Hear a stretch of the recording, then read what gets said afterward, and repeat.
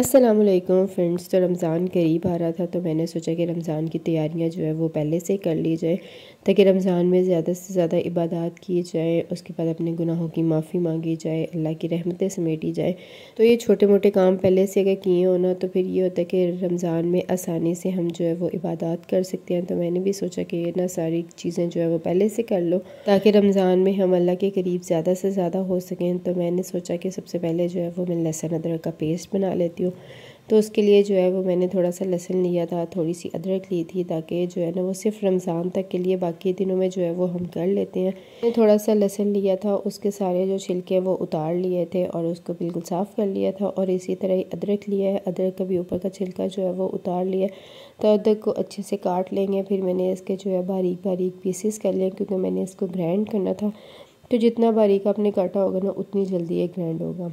तो मैंने जग लिया, उसके अंदर डालेंगे लहसुन और फिर उसके अंदर मैं डालूँगी अदरक। फिर इसके अंदर मैं डालूँगी थोड़ा सा ऑयल कुकिंग ऑयल जो हम यूज़ करते हैं। अब इसको जो है वो अच्छे से ग्राइंड करेंगे। इतनी देर इसको ग्राइंड करेंगे कि इसका ना बिल्कुल लिक्विड सा पेस्ट जो है वो बन जाए और सारी चीज़ें अच्छे से ग्राइंड हो जाएँ। तो अब ये ग्रैंड हो गया है, बिल्कुल मिक्स हो गया तो अब इसको स्टोर करते हैं। स्टोर के लिए मैंने एक प्लेट ली है, उसके ऊपर एक शॉपर डाला है। और उसके ऊपर जो है वन वन टेबल स्पून जो है ना वो ये पेस्ट डालती जाऊँगी और इसको फिर रखेंगे हम फ्रीज़र में। अगर आपके पास आइस क्यूब वाला ट्रे है तो आप उसके अंदर भी जो है वो इसको इस तरह स्टोर कर सकते हैं। अगर वो नहीं है तो आप इसको जो है वो इस तरह भी कर सकते हैं। वन वन टेबल स्पून या जितना आप यूज़ करते हैं एक वक्त में तो आप उतना जो है वो इसको इस तरह फ्रीज़ कर सकते हैं, वरना आप एक बॉक्स में वैसे भी जो है वो इसको फ्रीज़ कर सकते हैं और आप इसको महीना, दो महीने छः महीने ईजीली जो है वो यूज़ कर सकते हैं। बिल्कुल भी ख़राब नहीं होगा और इसका कलर भी चेंज नहीं होगा। तो नेक्स्ट जो बना रही हूँ वो है ग्रीन चटनी मतलब धनिया पुदीने की चटनी। ये रमज़ान में ना एक बहुत ही ज़रूरी चीज़ होती है, जब समोसे खाओ, पकौड़े खाओ या चना चाट बनाओ तो उस पर जो है वो आप इसको मस्ट यूज़ करते हैं। तो उसके लिए जो है मैंने थोड़ा सा धनिया लिया है और थोड़ा सा जो है वो पुदीना लिया है। तो पुदीने को मैंने अच्छे से धो लिया था पहले।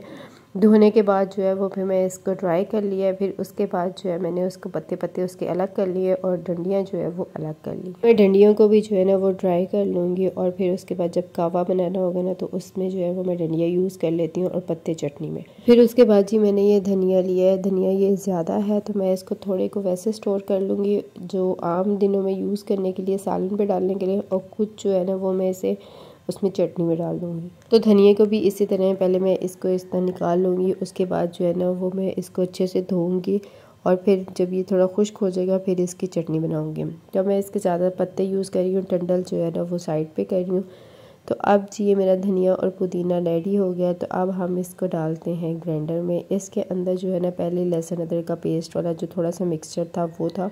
उस पेस्ट से ना इसका टेस्ट जो है ना, मज़ीद टेस्टी और मज़ीद ये अच्छा हो जाएगा। तो मैंने उसी जग के अंदर जो है ना, वो इसको डाल दिया और फिर उसके बाद जो है, इसके अंदर मैंने डाली है सब्ज़ मिर्चें, क्योंकि ये बहुत ज़्यादा गर्मी थी तो इसलिए मैंने थोड़ी सी डाली है। फिर इसके अंदर डाला है हंसपे ज़रूरत नमक। अब इसको अच्छे से जो है, वो ग्राइंड करते हैं।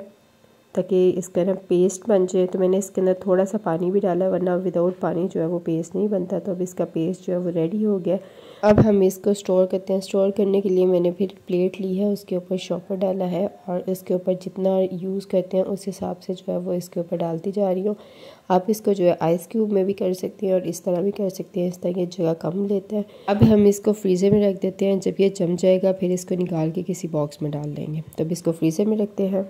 अब बनाते हैं जी टमाटो का पेस्ट या टमाटो की प्यूरी। तो उसके लिए जी मैंने टमाटरों को पहले अच्छे से धो लिया था और फिर उसके बाद जो है इसका कॉर्नर वाला जो है वो उतार लेंगे और इसको डालेंगे जग में। जग में डालने के बाद इसको अच्छे से जो है वो ग्राइंड कर लेंगे। अच्छा मैं टमाटर लेके आई थी, हालाँकि इतने देख के लेके आई थी कि सही हो सही हो, लेकिन उसके बावजूद जो है ना, वो ख़राब निकल ही आते हैं। तो उनकी ऊपर से शक्ल इतनी प्यारी होती है, लेकिन जब अंदर से खोलो, गले हुए निकलते हैं, सड़े हुए निकलते हैं मतलब अजीब तरह के निकलते हैं। तो अब जी, अच्छे से ग्राइंड हो गया तो अब इसको मैं स्टोर करने का तरीका बताती हूँ। फिर इसके लिए मैंने लिया है आइस क्यूब का ट्रे तो उसके अंदर जो है मैं जितना ये फिल हो सकता है, उतना इसके अंदर डाल दूँगी। फिर इसको जो है मैं फ्रीज़र में रख दूँगी। जब ये आइस क्यूब बन जाएँगी, फिर उसके बाद जो है किसी बैग में डाल देंगे। तो अभी जो है इसको फ्रीज़र में रखते हैं और जो बाकी बचा हुआ होगा, उसको हम किसी बॉक्स में डाल देंगे। इसको अच्छे से जो है वो करके ठक ठक और फ्रीज़र में रख देते हैं। फिर उसके बाद जी मैं शिमला मिर्च लेके आई थी। शिमला मिर्च अक्सर चीज़ों में डलता है मतलब चाइनीज़ बनाए। उसके अलावा जो स्प्रिंग रोल्स होते हैं, उसमें डलता है। फिर रमज़ान में चीज़ों के रेट जो हैं, वो डबल हो जाते हैं। फिर ये सारी चीज़ें जो है ना, अब जिस रेट में उससे ना डबल लेनी पड़ती हैं। तो मैंने कहा, जब ये ज़रूरत की चीज़ है तो इसको भी जो है ना, वो थोड़ा सा स्टोर कर लिया जाए। तो मैंने इसको पहले अच्छे से धो लिया, फिर इसके इस बीज निकाल लिया बीज निकालने के बाद जो है ना मैंने इसको इस तरह लंबा लंबा काट लिया आपको जो शेप जो साइज़ पसंद है, आप उसमें इसको जो है वो काट के इसको स्टोर कर सकते हैं। तो ये मैंने सारा काट लिया था, मैंने लिया है एक सिपलॉक बैग और इसके अंदर जो है ना मैं अब इसको डाल देती हूँ।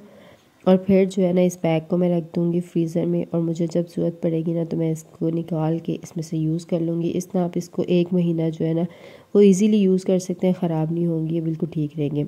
और फिर उसके बाद जी मैंने थोड़ी सी गाजर ली थी और गाजर को भी इसी तरह उसके पहले छिलका उतार लिया था, फिर उसके सेंटर के जो वाइट वाइट पार्ट था वो सारा निकाल लिया और फिर उसके बाद जो है ना इसको भी जिस शेप में आपने काटना हो उस शेप में काट सकते हैं। मैंने जो कि शिमला मिर्च जो है वो लंबी काटी थी तो मैंने गाजर को भी जो है ना इस तरह लंबा लंबा काटना था। क्योंकि चाइनीज़ बनाई या स्प्रिंग रोल में ना ये इस तरह लंबे साइज़ की ना ज़्यादा अच्छी लगती हैं, प्यारी लगती हैं।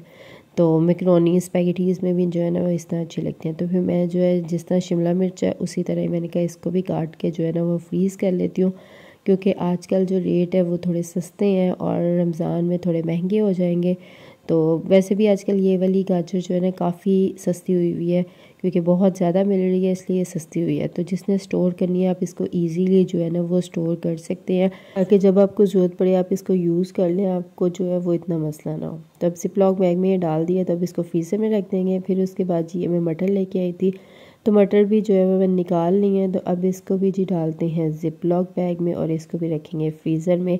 और फिर जो है बंद गोभी में लेके आई थी। बंद गोभी को मैंने अच्छे से धो लिया था, फिर इसको ड्राई कर लिया और इसको जो है इस तरह काट लिया था। काटने के बाद अब इसको भी डालते हैं ज़िप लॉक बैग में और फिर जी इसको रखेंगे फ्रीज़र में। और जब ज़रूरत पड़ेगी इसको यूज़ कर लेंगे। रमज़ान में इस तरह कटी हुई चीज़ें जो है ना, बड़ी यूज़ होती हैं। मतलब वो डिफरेंट चीज़ों में यूज़ हो जाती हैं ये। तो ये जी आइस क्यूब बन गई हुई थी तो अब इसको ट्रे से निकालते हैं और डालते हैं किसी शॉपर में। आप चाहे तो इसको जिपलॉक बैग में भी डाल सकते हैं, चाहे तो आप इसको ना किसी प्लास्टिक के बॉक्स में भी डाल सकते हैं। जिस तरह आपको ईजी हो ना आप इसको डाल के जो है वो फ्रीज़र में रख के स्टोर कर सकते हैं। इससे ये होगा कि जब आपको ज़रूरत पड़ी, आप बॉक्स खोल लें या बैग खोल के जो है वो निकाल के उसमें डाल सकते हैं। फिर इसी तरह जो मैंने चटनी को फ्रीज़ किया था, वो भी आइस क्यूब बन गई हुई थी तो अब इसको जो है वो शॉपर से उतारते हैं और शॉपर लगाने का यही मकसद होता है कि जल्दी से जो है ये उतर जाए शॉपर पे ये चिपकती नहीं है ज़्यादा। और वरना प्लेट में वैसे रखे ना तो उससे जो है ये चिपक जाती हैं, जल्दी उतरती नहीं है। शॉपर से जो है ना ये फ़ौरन से इस तरह जो है ना अलग हो जाती हैं। तो अब ये देखें कितनी जल्दी अलग हो गई हैं। तो अब इसको जो है, इसको भी हम डालते हैं जिपलॉक बैग में। और बाकी थोड़ी सी जो बच गई थी, उसको मैंने वैसे किसी बॉक्स में डाल के रख दिया था और फ्रीज़र में। जब ज़रूरत पड़ेगी तब उसको निकाल लेंगे और तब वो यूज़ कर लेंगे। तो मैं इसका बैग बंद करी थी तो ये मुझसे थोड़ी गिर गई थी। तो फिर अब ये जी लहसुन, अदरक का पेस्ट है, ये भी इजीली जो है ना शॉपर की वजह से उतर रहा है, ये देख सकते हैं आप, बिल्कुल आसानी से जो है वो उतर रहा है। तो अब इसको भी सारे को उतारते हैं और इसको भी जो है वो ज़िप लॉक बैग में बंद करके इसको फ्रीज़र में रख देते हैं, जब ज़रूरत पड़ेगी इसको निकाल लेंगे। तो अल्हम्दुलिल्लाह अल्हम्दुलिल्लाह, मेरी रमज़ान की थोड़ी सी तैयारी हो गई है, बाकी अभी थोड़ी सी रहती है, वो भी इंशाल्लाह जो है ना, जल्दी मैं आपके साथ शेयर करूँगी उसकी वीडियो भी अभी, क्योंकि मुझे समोसे बनाने वाले रहते हैं, रोल रहते हैं, उसके अलावा शामी कबाब और इस तरह की कई चीज़ें जो है ना, वो रमज़ान के लिए रहती हैं तो उसकी वीडियो इंशाल्लाह मैं वो बहुत जल्द आपके साथ शेयर करूँगी। तो आप लोग वो भी वीडियो देखिएगा, रमज़ान प्रिपरेशन का पार्ट टू भी आना है इन बहुत जल्दी वो भी आएगा। तो ये जी मेरी सारी चीज़ें अब रेडी हो गई हैं। तो आज का व्लॉग यहीं तक था। वीडियो अच्छी लगे लाइक करिएगा चैनल को सब्सक्राइब करिएगा। अल्लाह हाफ़